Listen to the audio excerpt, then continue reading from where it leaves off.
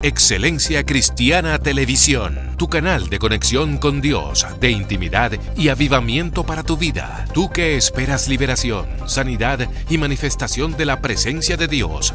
Esta es tu plataforma, un canal que transforma cada segundo en revelación, ministrando la palabra de Dios todos los días. Síguenos en nuestras redes. Excelencia Cristiana Televisión. Esta es tu plataforma. Dios te bendiga familia, nuevamente conectado contigo desde acá, desde tu casa, tu programa Excelencia Cristiana. Este es tu segmento Testificando con Excelencia, señores. Es poderoso lo que Dios está haciendo en la vida de hombres y mujeres de Dios. ¿Dónde?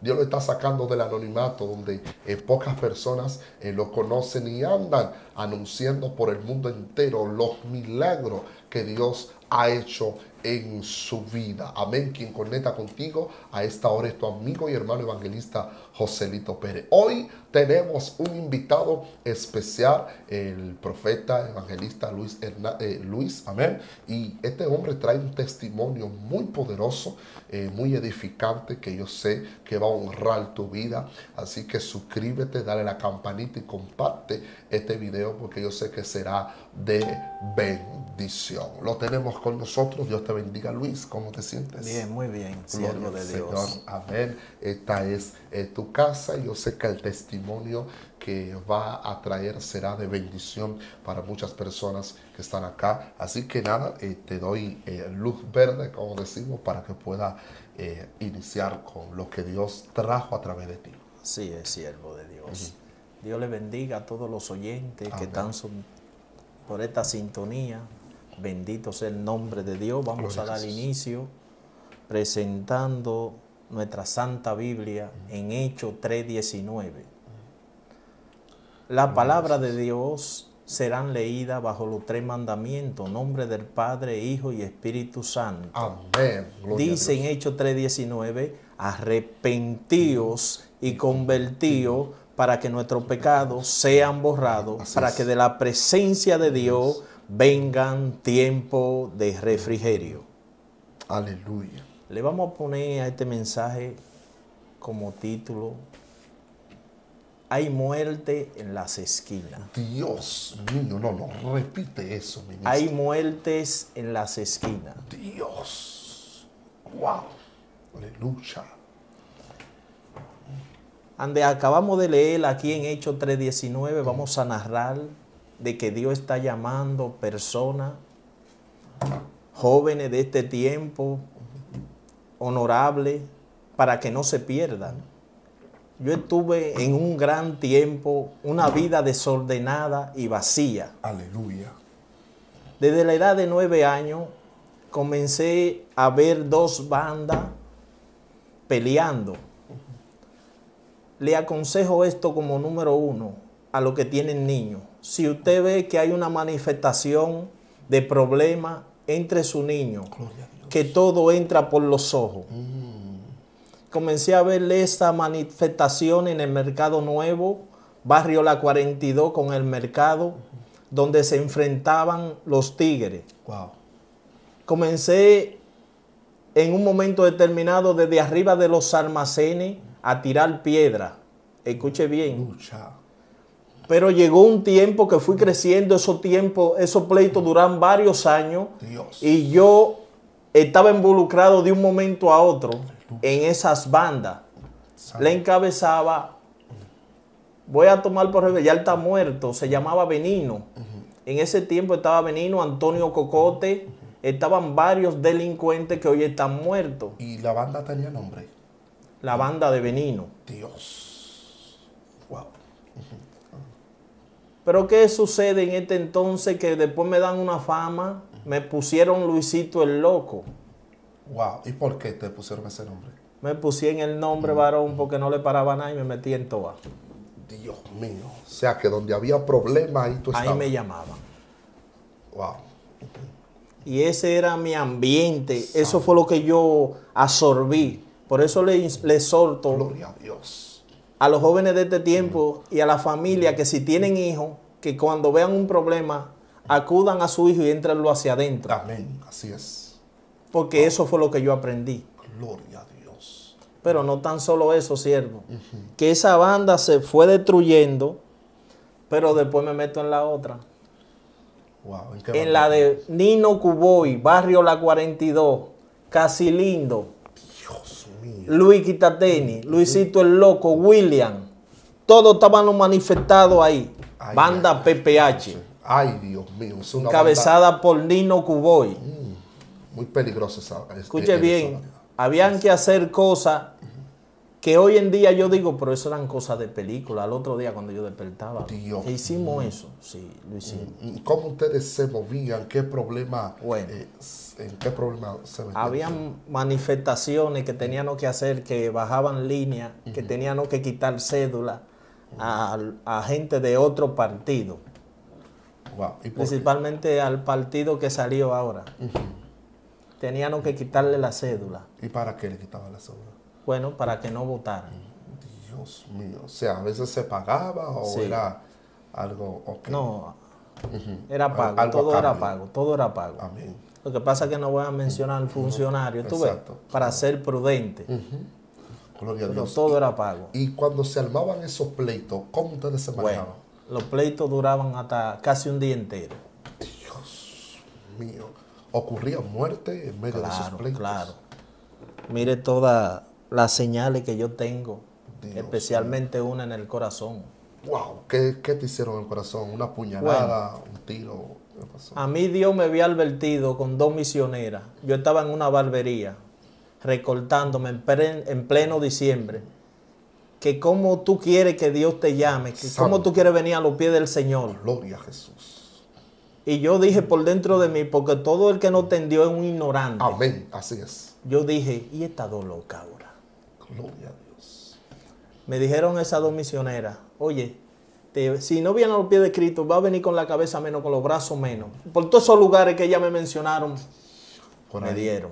Yo veo una cicatriz que tú tienes acá en la, en la Sí, cabeza. en la vena orca. ¿Qué fue lo que te pasó ahí? Bueno, siervo, cuando yo voy a la calle 38 del Capotillo, yo tengo problemas con los Panteras, cuando eso había mucha banda. Wow, así es. Yo tengo problemas con los Panteras. Eh, ya yo estoy chivateado por uno que era amigo mío, entre comillas. Cuando yo veo que viene uno que es el que yo quiero, que esa cabeza es la que yo quiero, yo jalé una mocha de carnicería. Dios mío. Cuando yo jalé la mocha hacia adelante, Wow. que yo le tiré la mocha se fue volando. Grave error, varón, le caí atrás la mocha. Y cuando me abajé, ¿te has visto los cocos de agua? Ajá. Me llevan la chapa del cráneo, la vena orca. Dios. Tengo el, tengo el brazo. Sí. Ustedes están viendo todas las cicatrices. Aquí también. Tengo una aquí en el corazón, no la voy a enseñar por prudencia, ¿tú ves? En ese entonces mi papá era Wow. oficial, asistente del general Manzueta. hacer- Dios mío. Me llevan al hospital central mi esposa, Wendy de Hernández, misionera. Wow. En el hospital central me rechazan porque tengo la chapa del cráneo llevada, tengo problemas en la vena orca. Pero espérate, cuando recibiste ese machetazo en tu cabeza y parte del cuerpo, ¿perdiste la, la- la conciencia o todavía tú Estaba estabas consciente? consciente. ¿Y qué pasó? O sea, obviamente me imagino la sangre como... Como, como una llave así. Oh my God. Mi esposa me puso una toalla aquí, me montan en un 115 con el Pachá. El motorista se llamaba el Pachá. Me llevan al hospital central.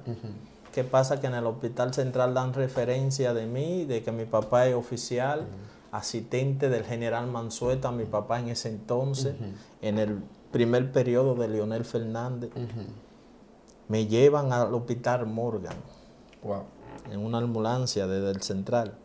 En el central no me, en el Morgan no me aceptan tampoco. Me rechazan. Me llevan hacia el Darío Contreras. Wow. En el Darío Contreras estoy rodeado de muchos médicos. Gloria a Jesús. Al estar rodeado de muchos médicos, yo voy perdiendo el conocimiento Wow.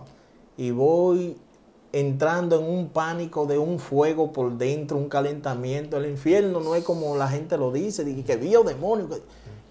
Cada cual tiene su propia experiencia, Amén, pero la experiencia mía fue que yo me estaba quemando por dentro. y yo- Dios. y yo pedí agua.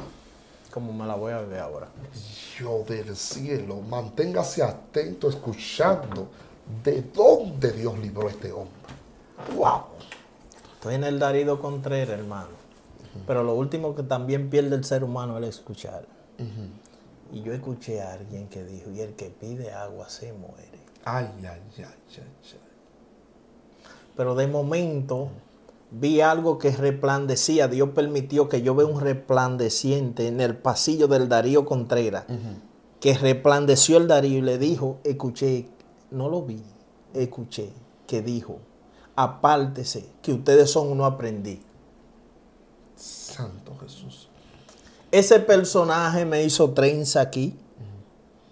Yo tenía esa, esa chapa llevada como un, caco de- eh, como un coco de agua.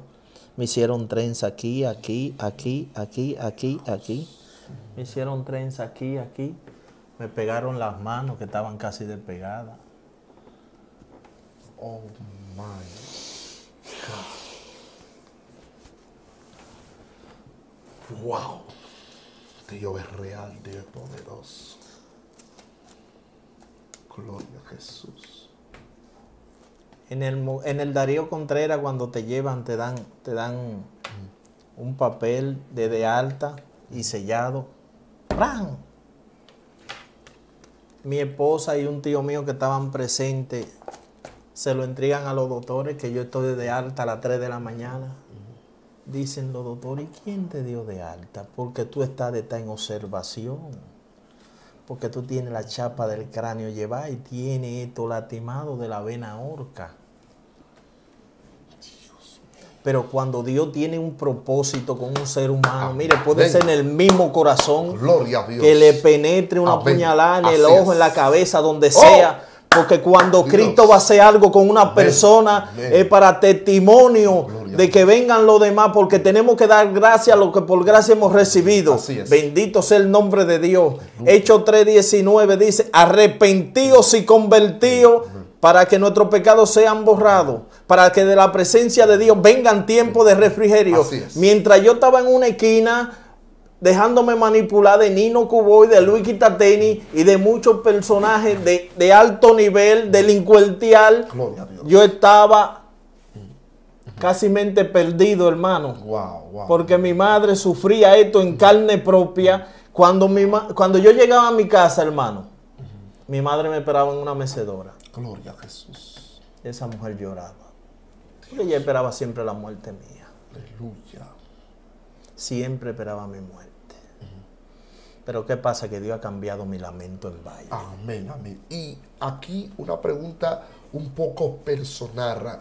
¿Qué trabajo, a través de la manipulación que tú acabas de tocar, qué trabajo te ponían a hacer ellos? ¿Eran trabajos sumamente peligrosos? Sí. ¿O cómo tú te movías? ¿Qué trabajo tú realizabas? Si En se una puede explicar. ocasión también, uno de los pretamitas, me voy a reservar, me voy a reservar el nombre, del barrio La 42, yo le hacía trabajo. Eso es que para los que cogen prestado. Eh, me mandó a hacer un trabajo hacia Villadrícula. Y fui a Villadrícula y hice el trabajo y desbaraté algo que me mandan a hacer yo y un joven llamado La Raya. Wow. No voy a dar los detalles de, de lo que fuimos a hacer porque pueden decir, Por porque estamos en vivo. Claro, claro, sí. claro. Fuimos a Villadrícola, hicimos ese trabajo, no pagan.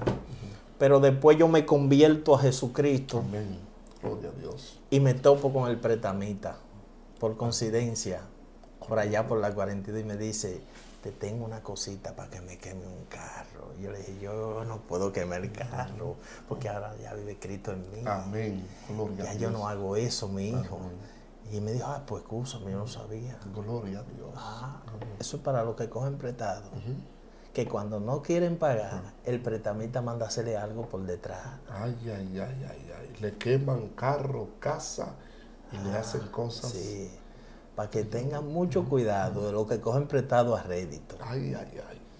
Entonces, cuando Cristo va a hacer algo con el ser humano, Amén. hermano, por encima de lo que sea se tiene que cumplir. Gloria a Dios. ¿Y cómo tú te manejabas con esas personas sumamente peligrosas. Luis Quitateni, no sé si llegaste Él a conocer está vivo a... todavía. Sí, él está vivo. Ni no murió. Y no sé si llegaste a conocer a Santo Puya en ese entonces, porque también hubieron al- algunas personas. No, estaban los William, lo que eran un ma- manifiesto para hacer cosas era William, el abusador, casi lindo, que es mi amigo y mi hermano, me dicen que se convirtió. Gloria a Dios. Le damos la gloria a Dios y él lo hizo. Amén. Jaivita, que era enemigo personal mío, pero ahora somos hermanos en Cristo. Aleluya, gloria a Dios. ¿Y cómo tú te manejabas con esa persona, mayormente en el mercado nuevo, en el Capotillo? Eh, Yo ¿cómo? fui nacido y criado en ese lugar. Gloria a Dios. Ustedes llegaron a controlar. y cuando tú creas un ambiente de fama, delincuentear, de que tú eres guapo, pero mentira, el guapo es el león de la tribu de. Amén, así es, así es. Ustedes llegaron a controlar puntos, puntos de droga. Claro, claro, claro. O sus, eh, eh, eh, eh, ¿qué, o- La esquina es la 42, la esquina de los quitatenis. así mismo es, ¿qué problemas llegaron a, a ustedes a recibir con, con, obviamente, con la policía, los tigres que querían quitarle No. la droga? Eh, No tenían un problema porque trabajábamos para el gobierno gloria a Dios. en ese entonces. Dios mío. Eh, no ocurri- ocurría. Tenían un carnet llamado PPH. PPH. Ay, ay, Los ay. carnets eran de ese tamaño. Estaba la foto mía y la de Hipólito Mejía. Ahí le a un lado. Gloria a Dios. Ustedes le pagaban, Sí, obviamente, no para hacer no esos tipos eh, de trabajo. Ahora, Sí, sí. cuando en medio, en medio de esos problemas, eh, respeto como tú acabas de decir, eh, como el golpe, el machetazo que recibiste en tu cabeza, cuando te dieron la puñalada en el corazón, fue obviamente cuando te dieron el machetazo aquí en la cabeza, Un puntazo. un puntazo. Entonces, cuando las personas vieron esos golpes entre los brazos, eh, obviamente el pecho, casi en el corazón y en tu cabeza, ¿qué la gente decía? ¿Que decían que tú no iba a pasar o no iba a vivir? ¿O que los médicos, qué palabras tú recibías en medio de ese problema que tú acabas de recibir? Bueno, el ignorante, como le digo, como a los cinco días después de la de alta, que me dieron de alta el mismo día, como, pero como a las 3 de la mañana, yo andaba por el capotillo, pero con la cabeza vendada y una gorra, buscando a la persona. Y debilitado, oye, una persona debilitada y buscando a otra. No, Padre. Ahora, ¿por qué recibiste ese accidente? ¿Hubo un por qué? Ya yo le hubiera dado a uno de ellos y quería seguir dando a lo de la banda entera. Gloria a Jesús. Porque en ese entonces había amor y paz, Ajá. amor al mercado, los panteras, Los los, sangre, los los collares. sangre, Y yo tenía problemas con esa banda. Yo no quería saber de abusadores. Y ellos agarraban a una persona y le entraban a palo entre todos. Y yo a los abusadores me gustaba para yo sobarlo. Wow. Pero me soban a mí. Santo Jesús. Pero fue para un bienestar. Para Cristo convertirme, Así es. cambiarme. Y en medio, cuando, cuando los amigos tuyos, entre Luis Quitateni, en la banda que estaban contigo, se dieron cuenta de que estuvieron a punto de matarte, ¿qué pasó banda con banda?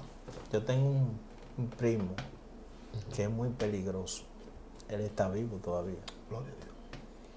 Él agarró unos cuantos de esos jóvenes. Entre ellos hubo uno que perdió un riñón. Dios.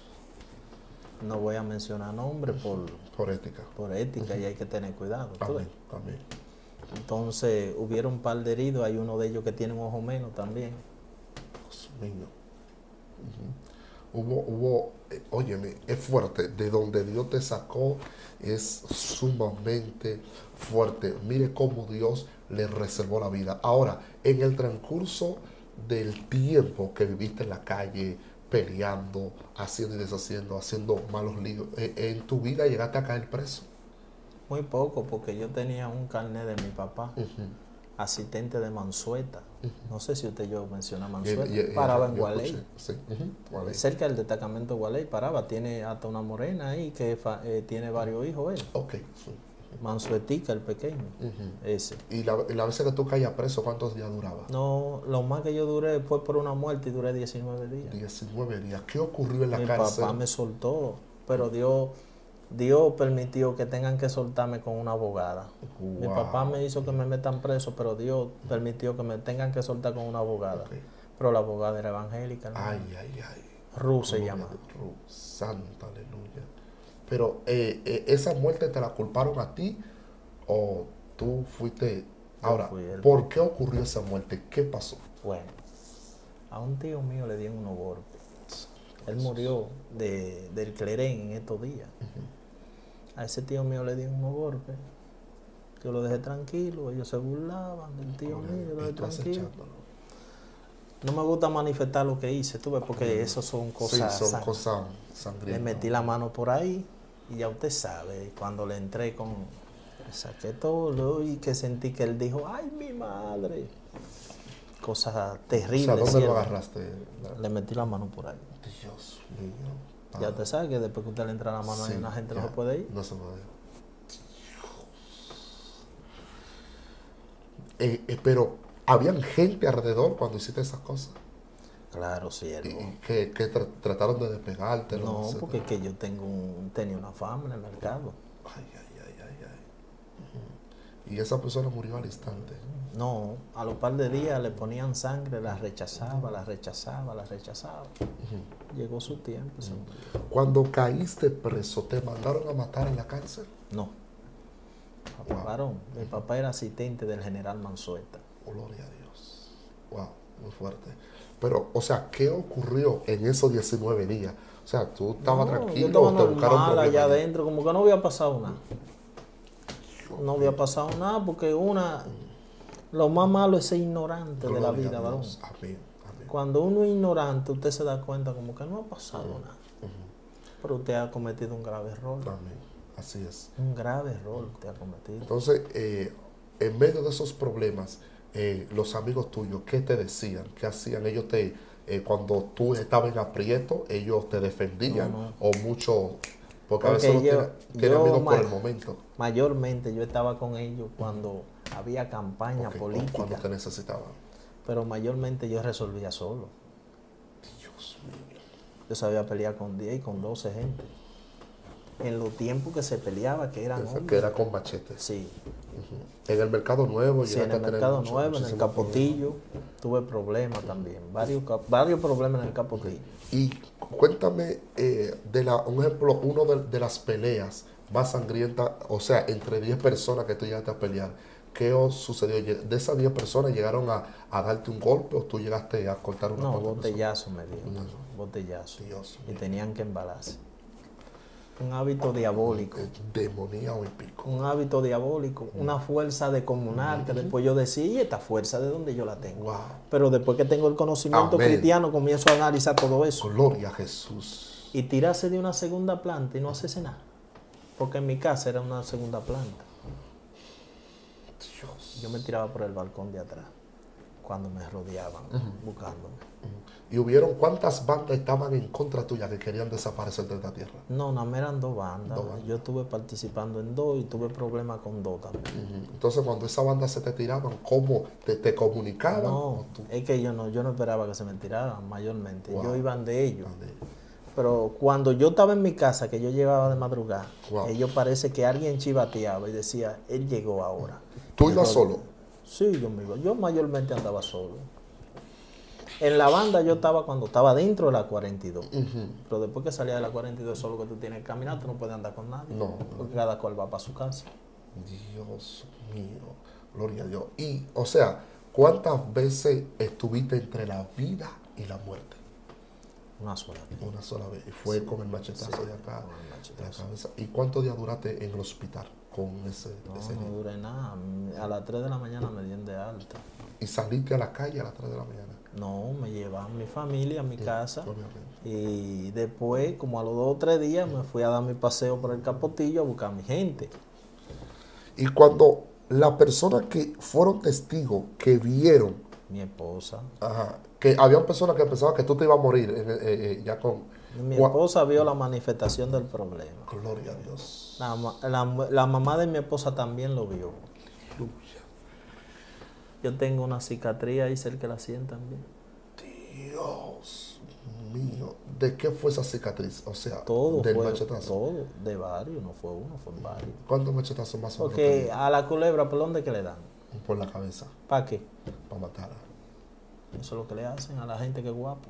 Pero eh, vamos a caer en este punto.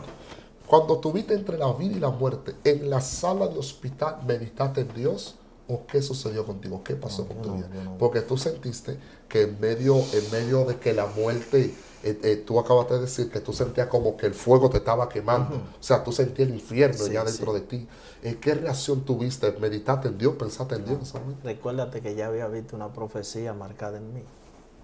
Gloria a Jesús. Que me lo hubieran advertido, pero yo lo ignoré. aleluya. Yo no dije que yo estaba en una barbería recortándome, ya me habían profetizado lo que me iba a pasar. Gloria a Dios. Es fuerte. Ahora, este punto es poderoso.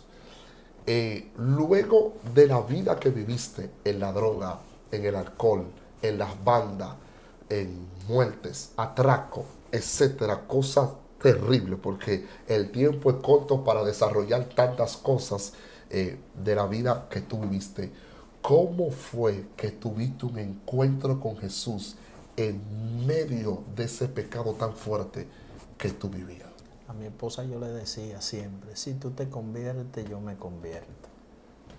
¿Qué pasa? Que mi esposa se convierte a Jesucristo. Pero escúchame, ¿tu esposa era peligrosa también en la calle? Sí, tú la conoces, una morena ella, guerrera del Capotillo. Oh, ah, nos tenemos que traerla para acá también. Gloria al Señor. Entonces le dijiste a tu esposa. Si tú te conviertes, yo me convierto. ¿Y ella qué te dijo? Ella me dijo cuando llegue el tiempo. ¿Qué pasa? Que ella se convirtió a Jesucristo a los par de días. Santo Jesús. Y dio fruto.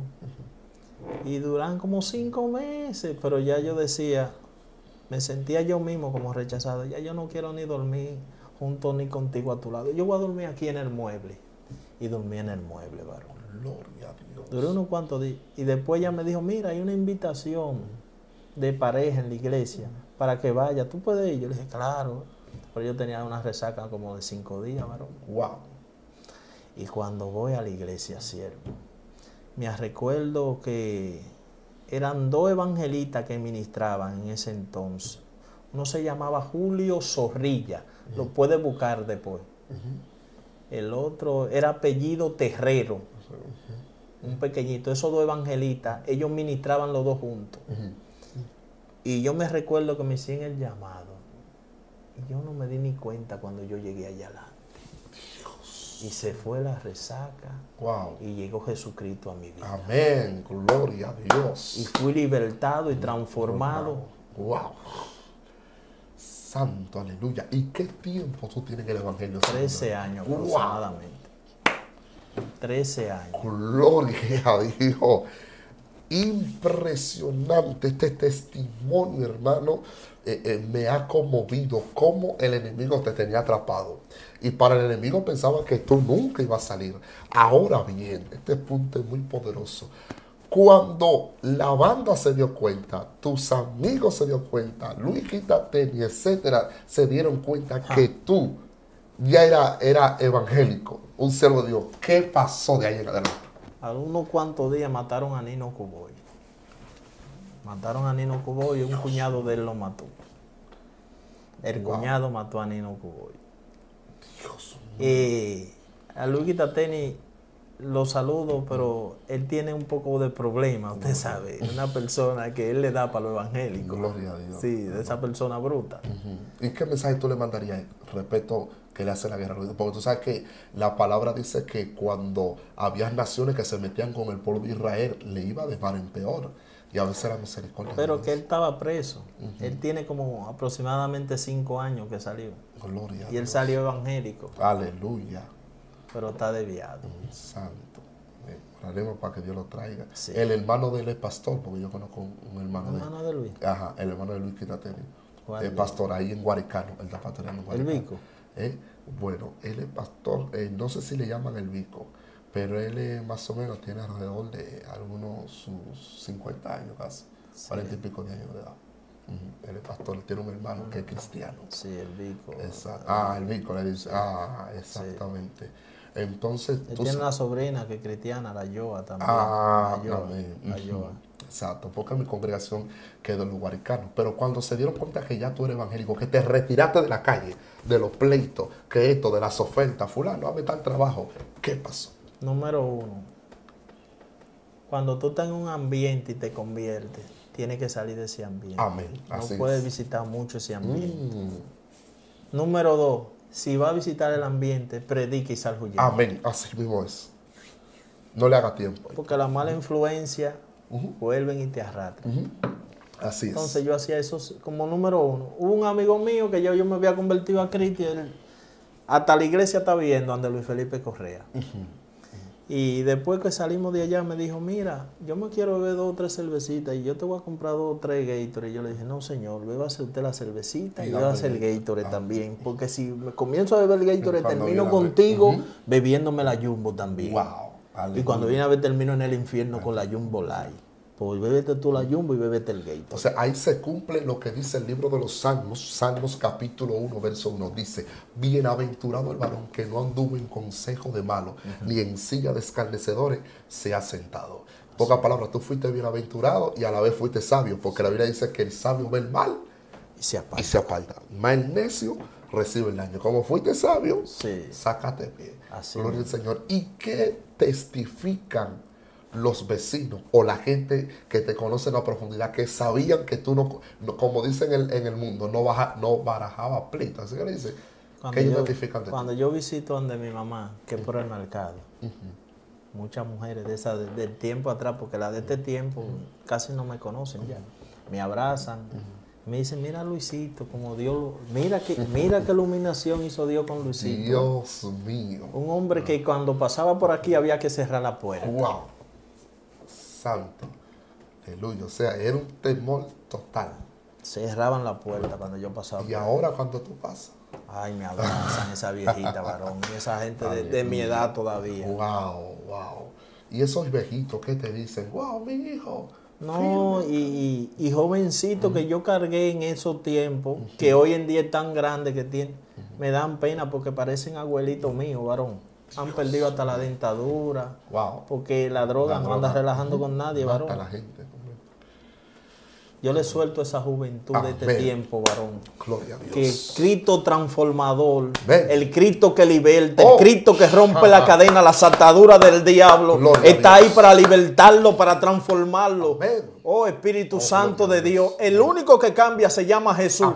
Yo pensaba que nunca iba a ser cambiado, bendito sea su nombre, pero Cristo cambia, Cristo liberta y Cristo rompe la cadena oh, y los pactos de generaciones se rompen cuando tú vienes a Cristo Jesús. Aleluya. Bendito sea Dios. Amén, poderoso. Y para ya nos queda unos minutitos más. Eh, ¿Qué mensaje tú le mandarías? Amén. ¿Qué mensaje tú le mandarías a esas personas que están viviendo la vida que tú viviste? Especialmente a los jóvenes de la 42. Gloria a Dios. Donde yo formé mi ambiente. Que ahí no hay nada que buscar. Amén.